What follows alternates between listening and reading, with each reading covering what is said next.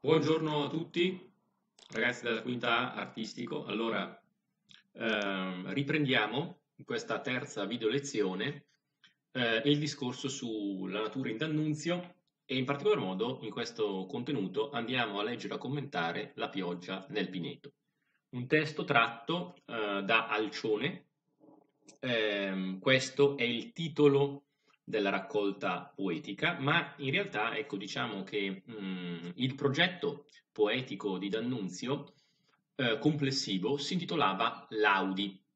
Eh, ho già detto nella precedente video lezione che trovate un paio di pagine sul vostro manuale, sul volume 3A, dedicato appunto a queste laudi. Il, il titolo Laudi era quindi il titolo complessivo di un grande ciclo poematico che doveva comporsi di sette parti o sette libri, ciascuno delle quali parti aveva come titolo il nome di una stella, mm, ehm, delle Pleiadi in particolar modo.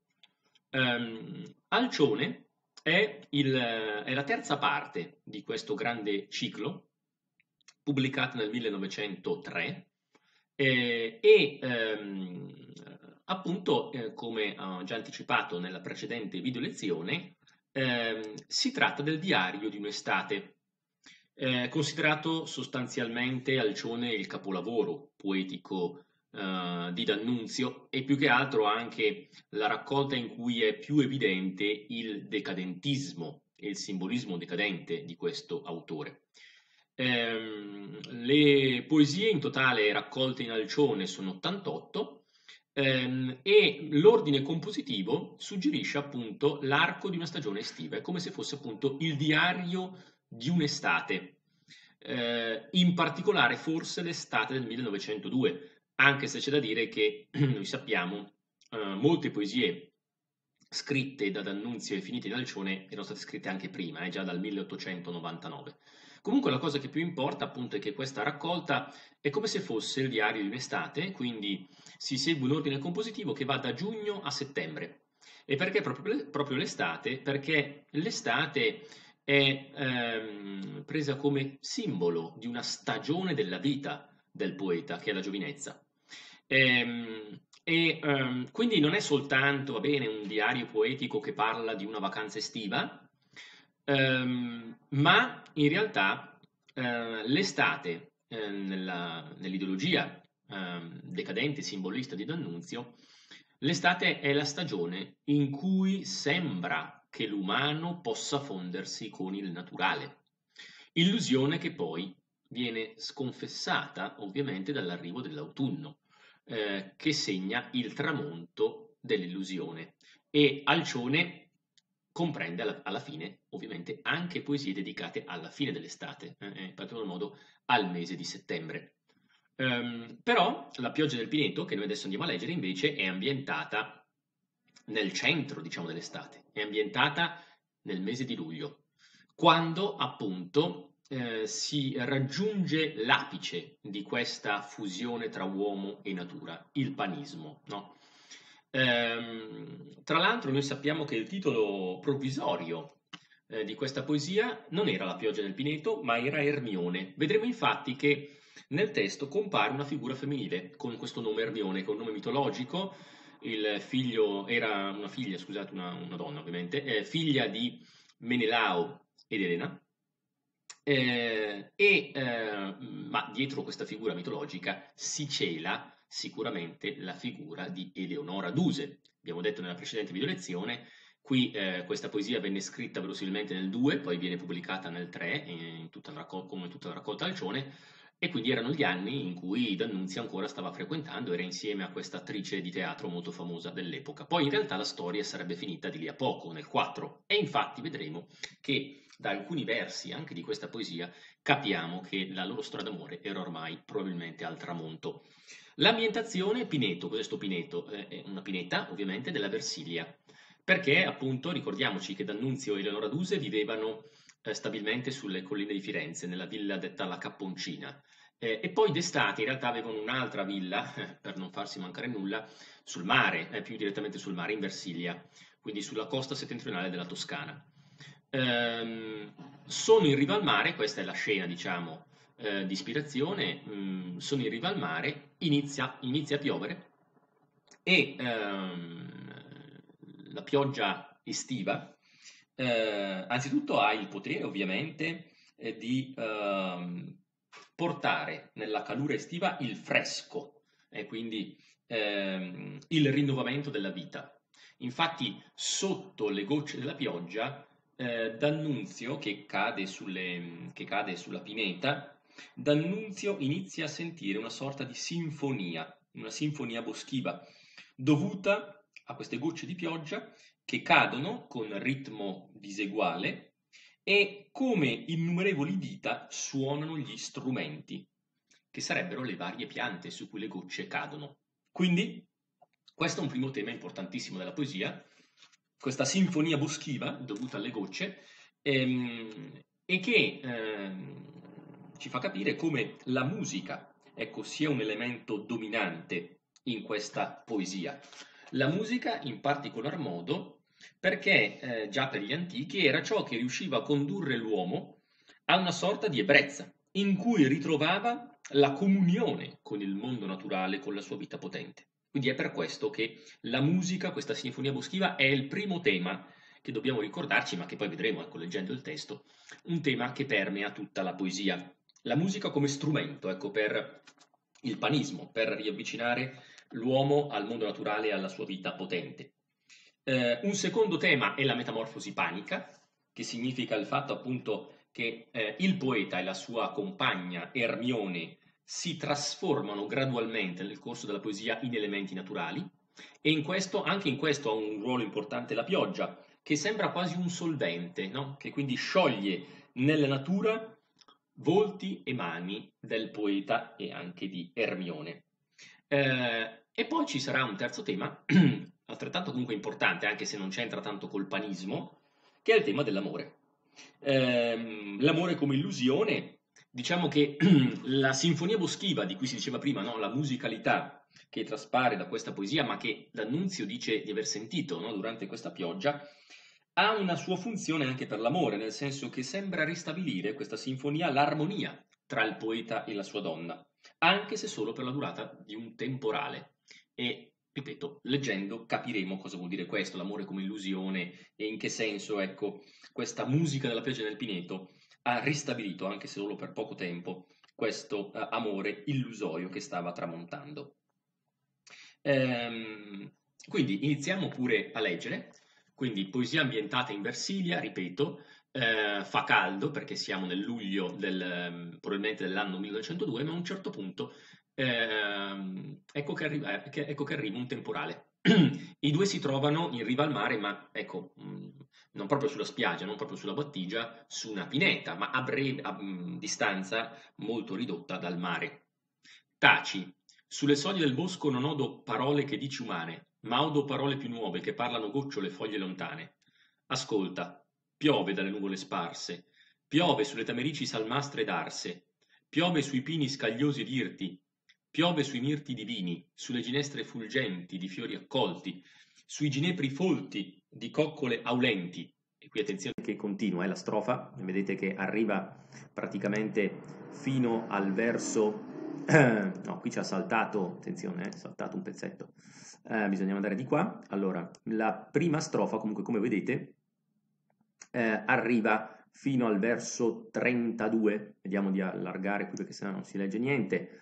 Allora, ecco così è più chiaro, quindi piove eh, sulle ginestre fulgenti di fiori accolti, sui ginepri folti di coccole aulenti, e poi passiamo di qua, piove sui nostri volti silvani, piove sulle nostre mani ignude, sui nostri vestimenti leggeri, sui freschi pensieri che l'anima schiude novella, sulla favola bella che ieri ti illuse, che oggi mi illude, o Ermione. Allora, prima strofa, 32 versi, vedremo che le strofe in totale sono 4, notiamo subito, beh questo è un passaggio ovviamente, beh, sono passati tanti anni da Leopardi, eh, non siamo più davanti a degli endecasillabi sciolti, ma siamo davanti a un metro sostanzialmente libero. Anche se poi D'Annunzio predilige soprattutto ehm, novenari, senari, ternari, anche versi molto brevi, avete visto, ad esempio, verso 15, no? costituiti da una sola parola. Quindi metrica libera, anche se le strofe poi sono 4 e sono tutte di 32 versi, ecco quello sì, però eh, poi ehm, ogni verso ha una misura ehm, eh, variabile. Allora, eh, come avrete notato il senso eh, non è difficile, mh, mm, quindi è una poesia che si lascia leggere abbastanza facilmente. Taci, quindi l'invito ehm, del poeta rivolto alla sua donna a tacere.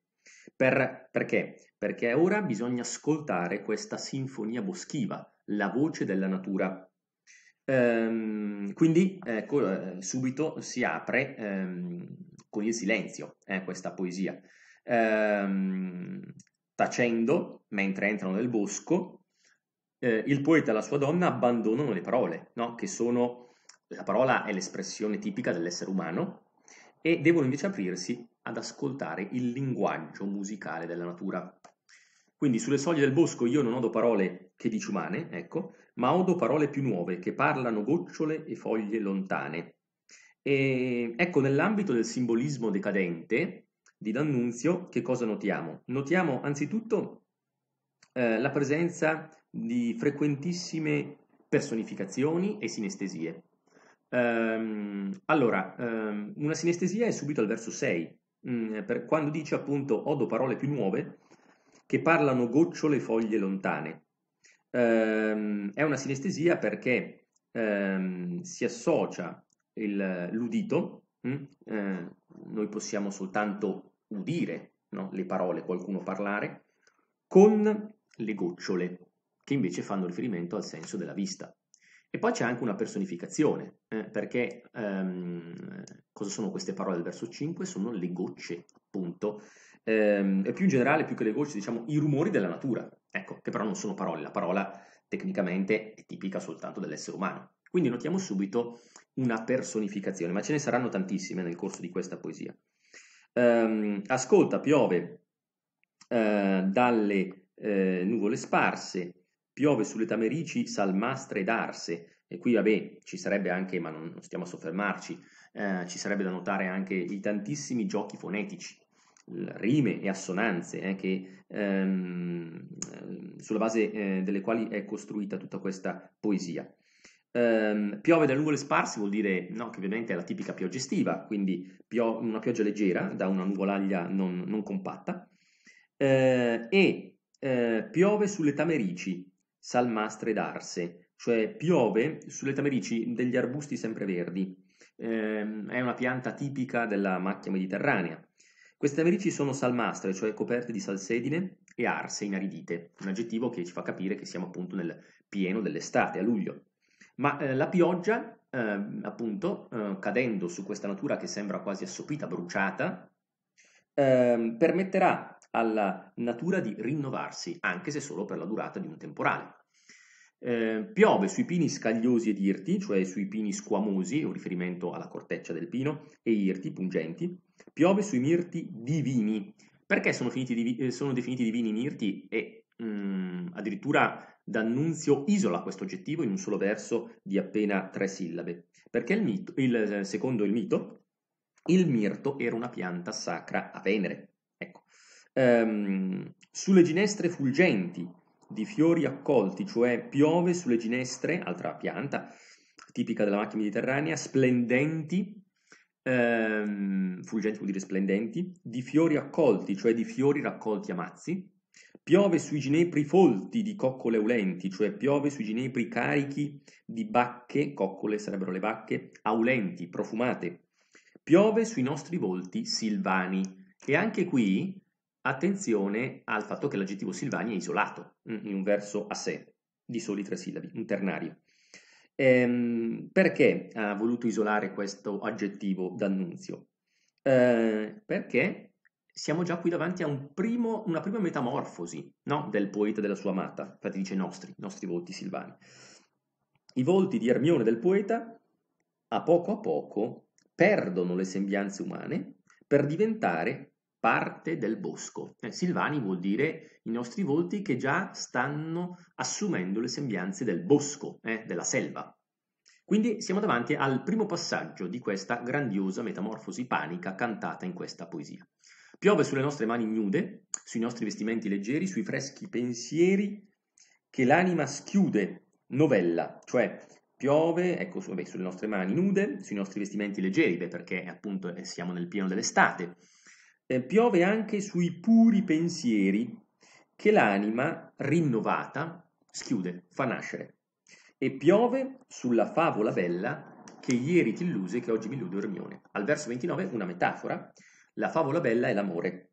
L'amore come favola, eh, in questa cornice magica del bosco eh, oppresso prima dalla calura estiva, ma ora rinnovato dalla pioggia.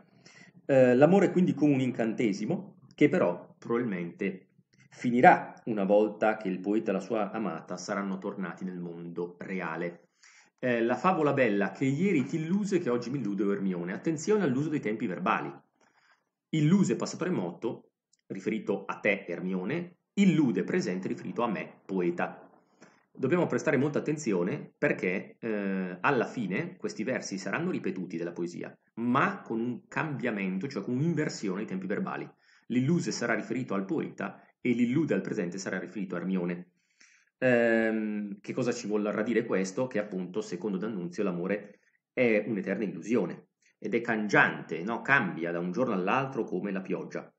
Ehm, quindi ehm, l'amore è soltanto ecco, un momento eh, provvisorio, un'illusione provvisoria all'interno della realtà che fluisce perennemente e poi ritorna ciclicamente su se stessa. Ma ehm, ecco, la cosa che più conta, ma lo vedremo ecco poi proseguendo con la lettura, l'amore come illusione, ecco che è diciamo un terzo tema comunque importante della poesia, anche se c'entra, non c'entra tanto col tema della natura, eh, oltre al tema della musicalità, che invece abbiamo spiegato come mai c'entra con la natura, e al tema della metamorfosi panica. Seconda strofa. Odi, ancora una volta la strofa si apre con un verbo che fa, che fa riferimento scusate, alla dimensione dell'udito e a, al silenzio umano perché bisogna aprire l'ascolto al linguaggio della natura. La pioggia cade sulla solitaria verdura con un crepitio che dura e varia nell'aria secondo le frode più rade, men rade. Ascolta. Risponde al pianto il canto delle cicale, che il pianto australe non impaura né il ciel cinerino, e il pino ha un suono, e il mirto altro suono, e il ginepro altro ancora, strumenti diversi sotto innumerevoli dita. e immersi noi siamo nello spirito silvestre, d'arborea vita viventi, e il tuo volto ebro è molle di pioggia come una foglia, e le tue chiome auliscono come le chiare ginestre, o creatura terrestre che hai nome Ermione.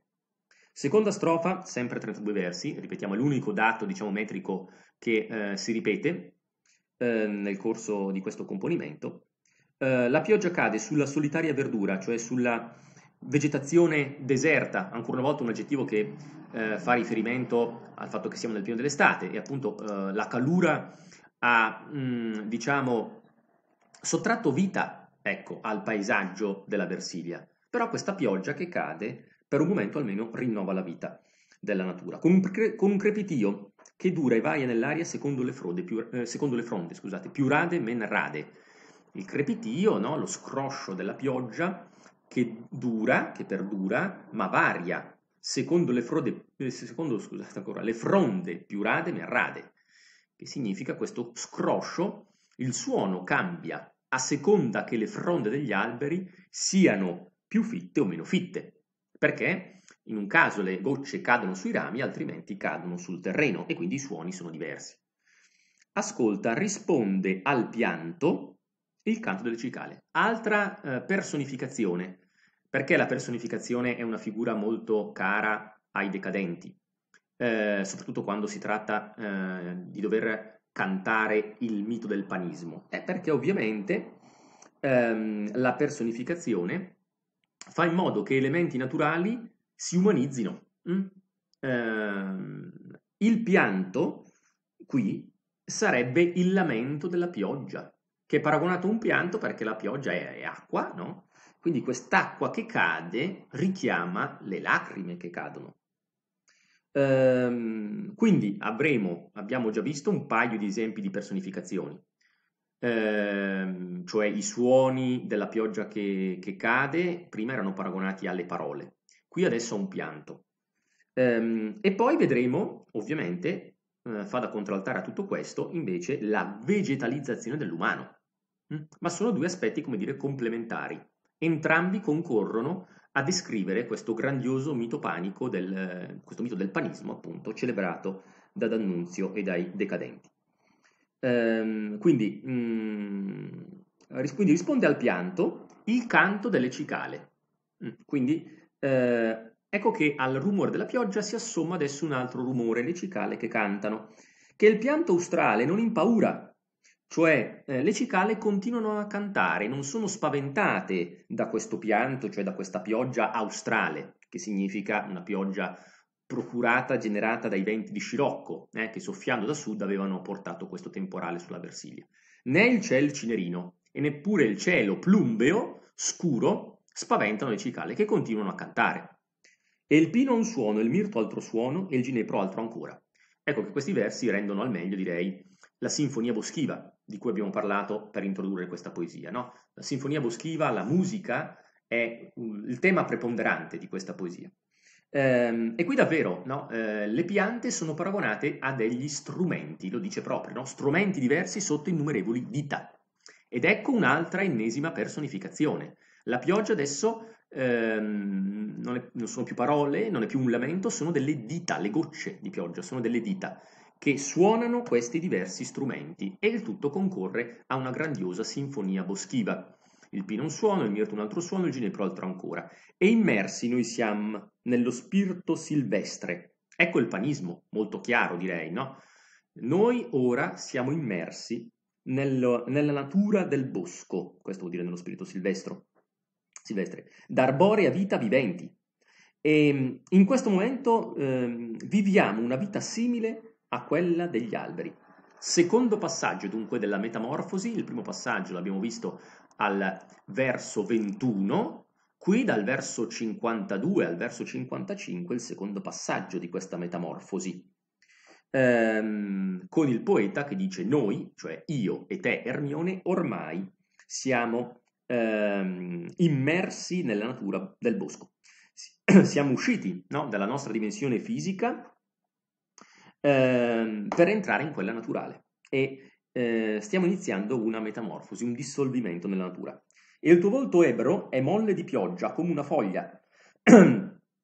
eh, qui invece c'è il ricorso mm, a una similitudine. Il tuo volto ebro, cioè euforico, ecco, il panismo, la, um, questa possibilità di fondersi con la natura porta all'esaltazione, porta all'euforia. Quindi il tuo volto euforico è molle, bagnato di pioggia, come una foglia similitudine, ma in cui notiamo che il secondo termine di paragone è un elemento naturale comunque. E le tue chiome auliscono come le chiare ginestre, e le tue chiome, cioè i tuoi capelli, profumano come delle luminose ginestre, o creatura terrestre che hai nome Ermione. Terzo passaggio della metamorfosi, qui riferita in particolar modo solo alla donna, cioè Ermione, eh, che viene definita creatura terrestre, cioè significa creatura generata dalla terra, come una pianta. E Ermione si sta, si sta trasformando in una pianta. Ecco perché il suo volto è come una foglia e le chiome, cioè i capelli, iniziano a profumare come delle luminose ginestre. Terza strofa. Ascolta, ascolta. Notiamo sempre che ogni strofa inizia con un verbo che fa riferimento alla dimensione dell'udito, eh? ehm, e quindi mh, mm, conseguentemente mh, mm, eh, sono verbi che fanno riferimento al dover ascoltare la musica della natura. L'accordo delle aeree cicale, a poco a poco, eh, qui dobbiamo girare pagina, a poco a poco, ehm, più sordo si fa sotto il pianto che cresce, ma un canto vi si mesce, più roco che di laggiù sale, dall'umida om- ombra remota. Più sordo e più fioco s'allenta, si spegne. Solo una nota ancor trema, si spegne, risorge, trema, si spegne. Non sode voce del mare, or sode su tutta la fronda crosciare l'argentea pioggia che monda. Il croscio che varia secondo la fronda più folta men folta. Ascolta, la figlia dell'aria muta, ma la figlia del limo lontana, la rana, canta nell'ombra più fonda, chissà dove, chissà dove, e piove sulle tue ciglia, Ermione. Allora siamo alla terza e penultima strofa, ricordo che sul libro forse prima non l'ho detto, ma comunque siamo a pagina ehm, 408 eh, la poesia, la, no scusate, la poesia inizia eh, a pagina 402, quindi 402 seguenti. Allora, ehm, terza strofa. Ascolta, ascolta, l'accordo dell'aereo cicale, vuol dire il canto all'unisono nell'aria delle cicale, a poco poco più sordo si fa, cioè diventa poco poco più basso sotto il pianto che cresce, perché cede il rumore, alla, il rumore della pioggia, il pianto è sempre la pioggia, eh, che aumenta di intensità. Eh, ma un canto vi si mesce più roco che di laggiù sale, ma ecco che un altro suono ora si mescola a questi due, un uh, canto un po' più roco che di laggiù sale, che si leva da laggiù, dall'umida ombra remota, mm, un pronome laggiù molto indefinito, Um, è, un, è, un, canto che si leva dall'umida ombra remota, dalla lontana e umida oscurità. Quindi è un suono che arriva, diciamo, dall'orizzonte visivo e anche sonoro del poeta, dal profondo della pineta, e vedremo che questo canto è il canto delle rane. Quindi diciamo che si unisce eh, dopo suono della, al suono della pioggia, al suono del cicale, il suono del canto delle rane. Più sordo e più fioco s'allenta, si spegne, cioè ehm, sempre, eh, diminuisce sempre di più, diventa sempre più eh, flebile eh, e più basso eh, il canto delle cicale finché si spegne. Solo una nota ancora trema, si spegne, risorge, trema, eh, si spegne. Quindi mm, un, un, soltanto una nota ancora eh, vibra, questo canto delle cicale, poi a un certo punto si spegne. Non sode voce del mare, or sode su tutta la fronda crosciare l'argentea pioggia che monda. Eh, non si sente nessun rumore dal mare, anche se la pineta era, abbiamo detto, a breve distanza, no? Ma prevale sui rumori del mare la pioggia argentea, che torna a scrosciare con violenza su tutta la fronda. È una pioggia che monda, cioè che purifica, che pulisce. Abbiamo detto di questa pioggia no? che uh, rinnova, riporta la vita in una natura che era stata bruciata dalla calura estiva. E, um, il fatto che eh, D'Annunzio utilizzi il verbo mondare al verso 84, nel senso proprio di purificare, eh, allude al fatto che questa pioggia estiva è una sorta di battesimo pagano, ecco, che porta a un rinnovamento.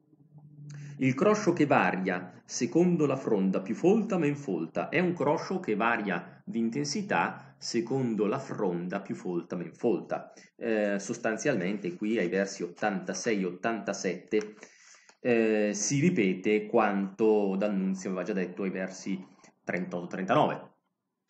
Ascolta, la figlia dell'aria è muta. Ecco, le cicale hanno smesso di cantare, no? Come aveva detto prima, quindi la figlia dell'aria sarebbe la cicala, è muta. Ma la figlia del limo lontana, la rana, canta nell'ombra più fonda, chissà dove, chissà dove. E quindi al canto della cicala si è sostituita quello della rana, che già era stata allusa eh, questa voce ai versi 71-72. La figlia del limo è appunto, ehm, cioè del fango, è la rana, che è lontana dall'orizzonte sonoro, cioè dal, sì, dall'orizzonte sonoro dei, del poeta e, e di Ermione, eh, canta nell'ombra più fonda, mm, canta laggiù, ecco, eh, nel mezzo della pineta, lontana dal mare, chissà dove, chissà dove, e piove sulle tue ciglia, Ermione.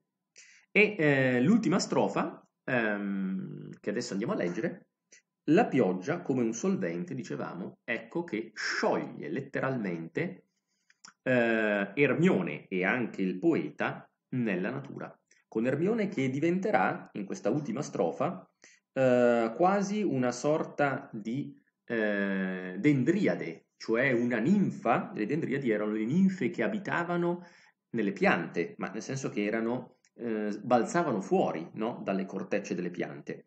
Ehm, Ermione viene descritta proprio in questo modo e quindi ovviamente nella quarta strofa si completa con l'ultimo passaggio la metamorfosi panica che già era iniziata comunque eh, dal verso 21, quindi dalla prima strofa. Piove sulle tue ciglia nere, sì che par tu pianca ma di piacere. Non bianca ma quasi fatta virente, par da scorza tu esca. Ecco, la pioggia che cade sulle tue ciglia nere eh, tanto che sembra che tu pianga, eh, quindi eh, le, la pioggia è molto fitta, cade sul volto e quindi sembrano, le gocce di pioggia sembrano delle lacrime, ma sono delle lacrime di gioia, di piacere. Non bianca, ma quasi fatta virente. Tu, Ermione, perdi anche il tuo colorito, che ovviamente era bianco, no? perché ehm, eh, secondo anche diciamo, lo stereotipo, ma anche i gusti dell'epoca, no? la donna doveva essere di carnagione bianca, eh, ma non sei più bianca ora, sei diventata quasi verde, perché sembra quasi che tu esca da una corteccia. Ecco che si completa la metamorfosi panica, la vegetalizzazione dell'umano, perché Ermione viene descritta ehm, come se balzasse fuori da, un, da, una corteccia, appunto, come se fosse una dendriade, ecco, una di queste ninfe che secondo il mito abitavano nei boschi e si fondevano, proprio erano, diciamo, eh, di fatto per metà donne, per metà piante, e poi, e poi balzavano fuori dalle cortecce. Tutta la vita è in noi fresca ulente, il cuore nel petto è come pesca intatta, tra le palpebre gli occhi son come polle tra le erbe, i denti negli alveoli son come mandorle acerbe. E andiam di fratta in fratta, or congiunti, or disciolti, e il verde vigor rude ci allaccia i malleoli, ci intrica i ginocchi, chissà dove, chissà dove.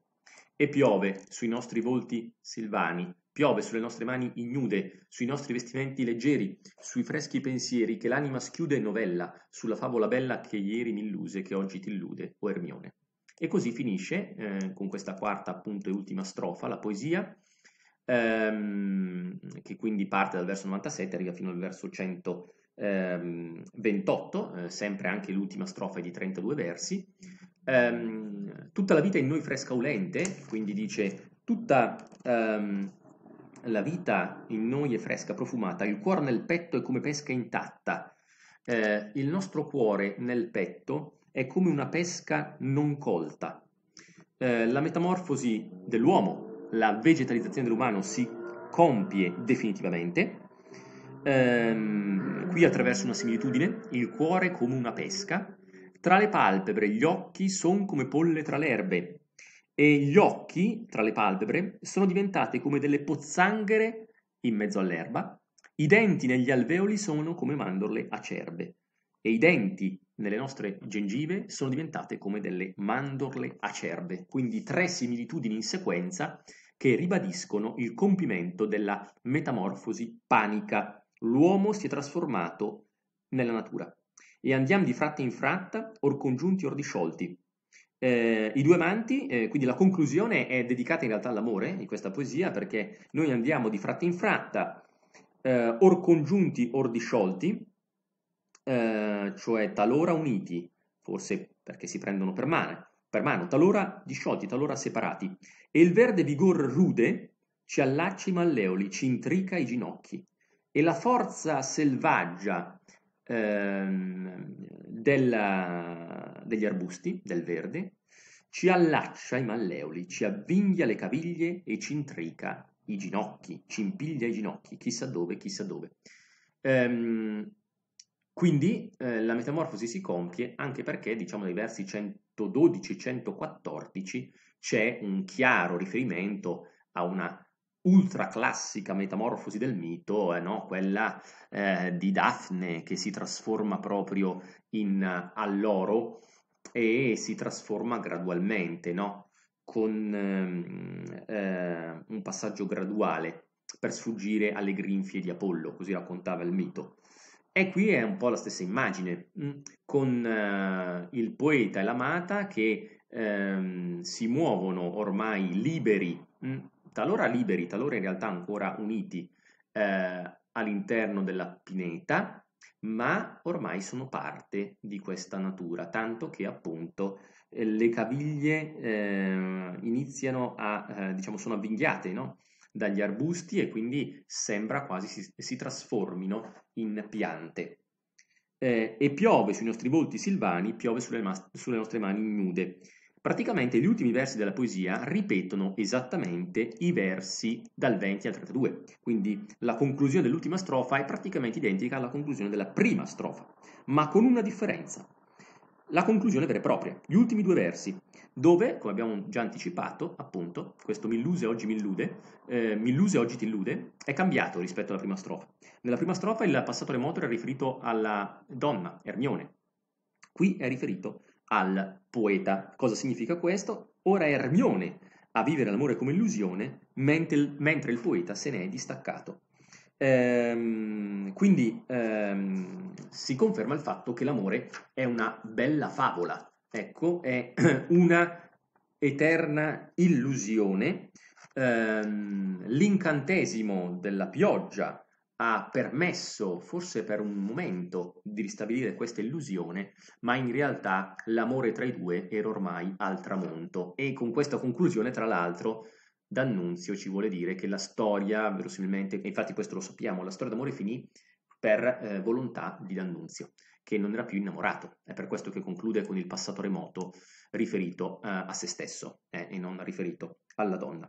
Bene, ovviamente la poesia era abbastanza complicata, nel senso ci sono tanti spunti di riflessione, spero di averli spiegati abbastanza, in modo abbastanza chiaro. Ovviamente prendete anche visione, sarà da studiare, il commento che avete sul vostro libro, ecco a pagina, no qui le pagine non coincidono, il commento sul vostro libro l'avete a pagina 405 ehm, e quindi poi ecco proseguiremo nella prossima video lezione con il secondo testo di D'Annunzio eh, dedicato al tema della natura Vedremo però eh, con una prospettiva un po' diversa, nel senso che qui è esaltata certo la natura con il concetto del panismo, ma eh, la natura senza, la senza diciamo, eh, l'uomo, mm, la natura nella sua componente diciamo più primigenia.